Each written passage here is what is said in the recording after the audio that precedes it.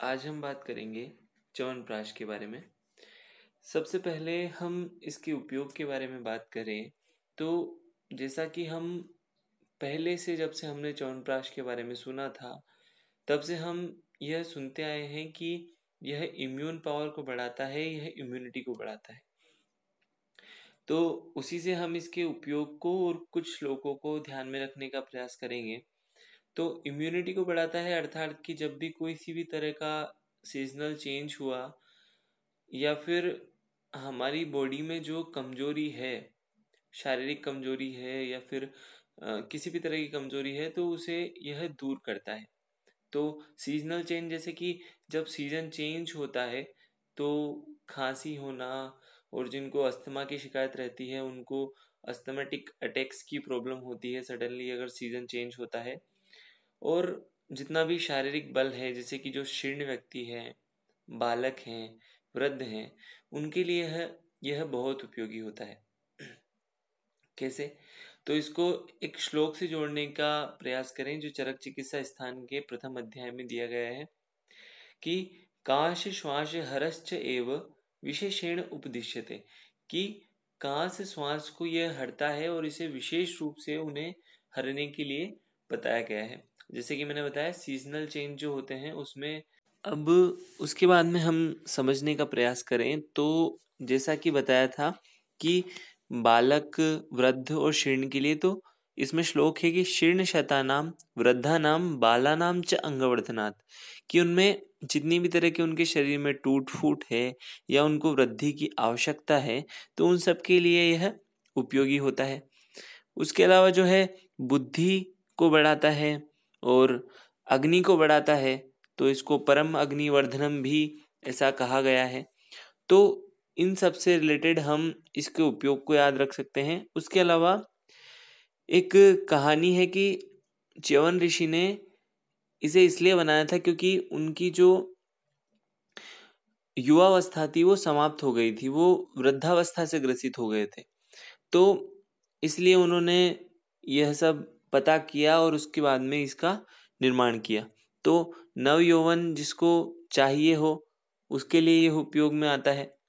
उसके अलावा एक इम्पोर्टेंट बात है कि चरक चिकित्सा में ही बताया गया है पहले अध्याय में कि इसे कुटी प्रावेशिक विधि से उपयोग करें तो बहुत ही अच्छी बात है। और इसका उपयोग उतना ही करना चाहिए जितना कि पश्चात जो भोजन किया जाए उसमें कमी ना करे। ठीक है कभी कभी बहुत ज़्यादा ऐसे नाश्ता कर लेते हैं तो बाद में भूख नहीं लगती। तो उस तरह का इफ़ेक्ट इसका ना हो कि च्यवनप्राश खा लिया और बाद में भूख ही नहीं लग रही है जो लगती है जनरली तो इस बात का और ध्यान रखें। अब हम इसके इंग्रेडिएंट तथा उनकी ट्रिक के बारे में बात करें। तो सबसे पहले मिश्रक गण के चार योग को ध्यान में रखेंगे। चार कैसे? चवन ऋषि थे चौनप्राश है तो चौनप्राश से च से चार को ध्यान में रखेंगे। तो सबसे पहले दशमूल, दूसरा अष्टवर्ग, तीसरा चतुर्जात और चौथा त्रिफला। अब आगे की ट्रिक को हम इस तरीके से ध्यान में रखेंगे कि पुष्कर के मस्त च्यवन गुरु का बल, पुष्कर के मस्त च्यवन गुरु का बल जो उनमें वास करता था, वह विदा होने लगा। उनके पहला बाल सफ़ेद होने लगे, दूसरा चेहरे पर छोटे दाग होने लगे, तीसरा आवाज़ कोए के समान कर्कश हो गई। तो इसे क्रम से ध्यान रखें, सबसे पहले बाल आते हैं, फिर चेहरा आता है, फिर गले वाला भाग आता है, जो कि कोए के समान कर्कश। ऐसे ध्यान में रखें। और चौथा हिस्सा है तो पुनः आंवला की सेवन और शत प्रतिशत जवान हो गए। मतलब उन्होंने पुनः आमलकी का योग अर्थात की च्यवनप्राश का सेवन किया और पुनः शत प्रतिशत जवान हो गए। हमने इस ट्रिक को भी चार भागों में बांटा है, जिससे कि ध्यान रख सके कि च्यवन और च से चार। तो अब सबसे पहले हम ट्रिक को समझने की कोशिश करते हैं। तो सबसे पहला भाग कि पुष्कर के मस्त चवन गुरु का बल। तो पुष्कर से पुष्कर को ध्यान में रखें, मस्त से मुस्ताक को ध्यान में रखें, फिर गुरु से दो चीज़ों को ध्यान में रखना है, पहला गुड़ूची और दूसरा अगरू। फिर उसके बाद में बल से बला को ध्यान में रखना है।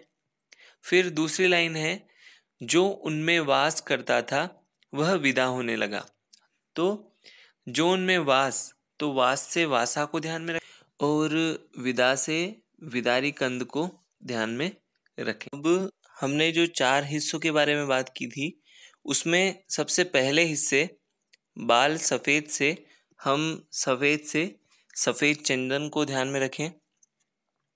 उसके बाद में चेहरे पर छोटे दाग उठने लगे तो चेहरे पर छोटे दाग तो चेहरे से तो कुछ नहीं ध्यान रखना है, पर छोटे दाग से ध्यान रखना है सूक्ष्म एला। छोटे से सूक्ष्म एला, दाग के द से द्राक्षा को ध्यान में रखना है, वैसे दाग कहते हैं तो द्राक्षा। और उठने लगे से उत्पल, उठने लगे से उत्पल को हम ध्यान में रखेंगे। उसके बाद में तीसरा हिस्सा, आवाज़ कोए के समान कर्कश। तो कोए से हम ध्यान तो, में रखेंगे कोए से हम ध्यान में रखेंगे काक नासिका को। उसके पश्चात में कर्कश से हम ध्यान में रखेंगे कर्कट श्रृंगी। फिर उसके पश्चात हम पुनः आमलकी से तो आमलकी को ध्यान में रखेंगे पर आमलकी जो है वो त्रिफला में ऐड कर दिया है। तो यहाँ पर एक और ड्रग को ध्यान में रखेंगे आमलकी से वो है तामलकी। और उसके बाद में सेवन से शत प्रतिशत तो शत प्रतिशत से छठी को हम यहाँ पर ध्यान में रखेंगे।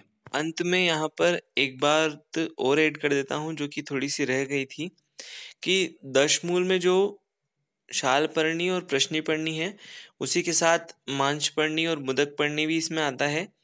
और जो त्रिफला है, उसमें से विभीत की नहीं आता है। विभीत की क्या? डर गया तो वह चौनप्राश में नहीं आता है है ना? और क्योंकि जो डर जाते हैं, उनका इम्यून पावर अच्छा नहीं होता। तो इस तरीके से ध्यान में रखें और उसके स्थान पर पिप्पली आ जाता है, जो त्रिकटु यहाँ पर हमने ऐड नहीं किया, पर विभीतकी के स्थान पर पिपली आ जाता है, ऐसा ध्यान रखें। और च्यवनप्राश को खाकर हम दूध पीते हैं तो उस तरह से पिपली को ध्यान में रख सकते हैं। इस तरीके से हम च्यवनप्राश की जो ड्रग हैं, उनके इंग्रेडिएंट को तो ध्यान में रख लेंगे। उसके पश्चात में हम यहाँ पर इसके बनने के तरीके और उससे कुछ और द्रव्यों को यहाँ पर ध्यान में रखेंगे। जैसे कि चतुर्जात है वह अंत में डाला जाता है जो सुगंध इत्यादि के लिए, और घृत और तेल भी इसमें होता है, जिससे जो है आमलकी जो होता है, उसका जो स्वेदन के पश्चात जब अपन पूरी प्रोसेस पढ़ते हैं तो उसमें स्वेदन के पश्चात जो गुदा को कूट लिया जाता है तो उसके पश्चात घी और तेल में ही उसका भर्जन किया जाता है। और एक और चीज़ आती है मधु, जो कि सभी रूप से जब ठंडा हो जाता है यह तो उसके पश्चात में जो है इसमें मधु ऐड कर दिया जाता है। तो इस प्रकार से हम चौनप्राश को समझ सकते हैं।